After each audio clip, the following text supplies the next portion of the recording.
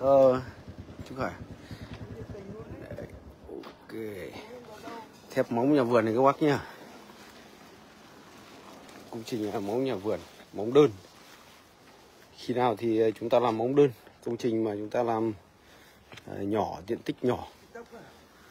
Dưới ờ, 100 mét vuông sàn thì các chị làm cái móng đơn được.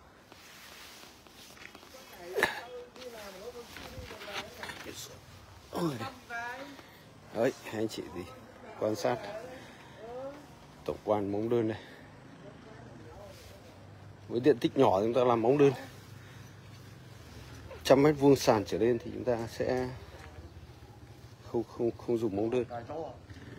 Ông Ông uh, tham gia công trình đấy không?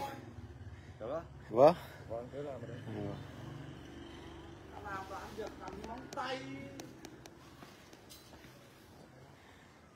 Đấy cái móng có hùng hồn không? Đấy, được không? Mà hôm nay được. Chuẩn. Đây, các cái phần à, thép móng, đây là cái phần đế, đế móng anh chị nhé. Đế móng là một mét mốt, một mét mốt, vuông một mét mốt, mét mốt. Sau khi đế móng xong thì chúng ta sẽ vì à, móng đơn thì chúng ta sẽ đổ rằng lên trên. Móng đơn không móng băng, móng băng thì chúng ta lại đi rằng phía dưới. Còn móng đơn thì chúng ta à, đi dầm lên trên. Đấy anh chị nhé. Ờ, khác nhau một chút. Ở đây công trình này đòi hỏi tiến độ nó nhanh. Cho nên là làm sẵn cột luôn. Đổ xong phát cho R7 phát là hôm sau tự cột lên luôn. Đấy để, để để kịp cái tiến độ Tết mới xong được. Đây là cái phương án này. Bình thường nếu mà chúng ta không đẩy nhanh tiến độ thì chúng ta sẽ đổ móng cao bình thường sau đó chúng ta tự cột sau. Đựng thép cột sau đấy chúng ta làm luôn từ dưới chân lên này nó sẽ khỏe luôn này. Đấy, cây thép liền luôn ok, các anh chị.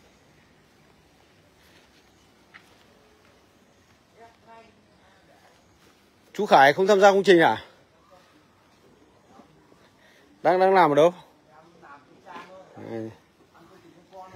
Công trình nhỏ. Đây.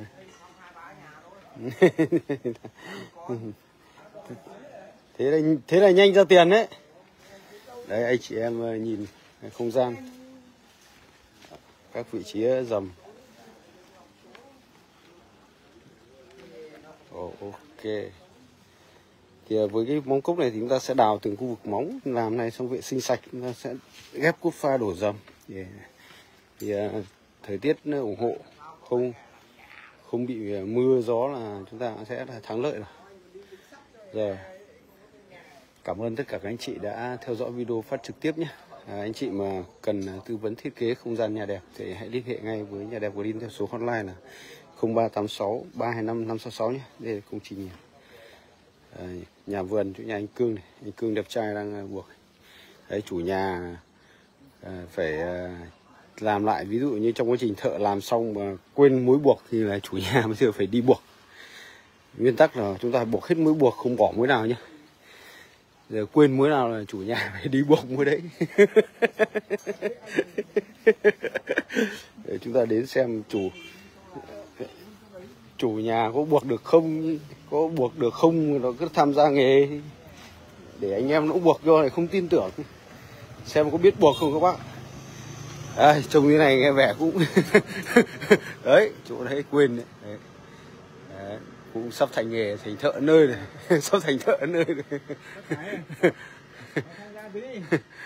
đây này, bên này chưa có này. Ui, hai đai bên này, cái đai bên này là chưa này. Hai đai luôn. Nhưng mà trước khi buộc cái đấy phải chỉnh lại cái đai này cho nó vuông góc nữa này. Em gõ gõ chỉnh lại cái đai ngoài cho nó vuông góc ừ. ừ đấy. Ừ, bia mà. Bia thì tham gia thoải mái? Cái này thì thôi đấy là phần rất là quan trọng các anh chị. Vì có các bác thợ làm nhiều lúc quên. Thì à, chủ nhà chịu khó đi buộc. Khi nhảy này thì gặp rất là thường xuyên thôi. Không phải là ít gặp nhé gặp rất là nhiều luôn. Nhất. À, nhất là thép mái mà thợ mà cứ mối buộc mối bỏ là chủ nhà cứ phải bỏ ra cả ngày luôn. Thép móng này còn ít thép mái thép mãi mà không nhắc thì là buộc cả ngày luôn. Đấy, cái đai đấy vị trí quan trọng.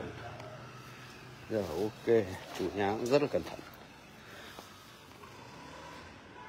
Ok anh em, đấy, thì khi làm nhà thì các anh, chị em thấy chủ nhà cũng rất là vất vả. Nói chung là chúng ta cũng phải chịu khó thôi. Cả đời chúng ta chỉ làm một căn, hai căn cùng lắm, ba căn. Số lượng trên ba căn thì rất là ít. Số lượng ấy, đếm trên đầu ngón tay, hầu như cả cuộc đời chúng ta làm một, hai căn là nhiều thì mỗi lần trải nghiệm như thế rất là ít. Thì ờ, chúng ta sẽ có những cái sau mỗi một công trình chúng ta sẽ thành công hơn hiểu biết hơn. Đấy. rồi rất là biết ơn tất cả quý khán giả đã theo dõi video phát trực tiếp của đơn vị công ty thiết kế nhà Đẹp Green nhé. Anh chị nào mà cần tư vấn thiết kế thi công xây dựng nhà đẹp thì gọi điện cho chúng tôi theo số hotline là 0386 325 566 nhé. Rồi chúc nhà anh Cương là mưa thuận gió hòa cứ làm xong móng đổ đâu đó ấy, thì trời thích mưa kiểu gì mưa các anh chị nhé rồi hẹn gặp lại các anh chị video tiếp theo.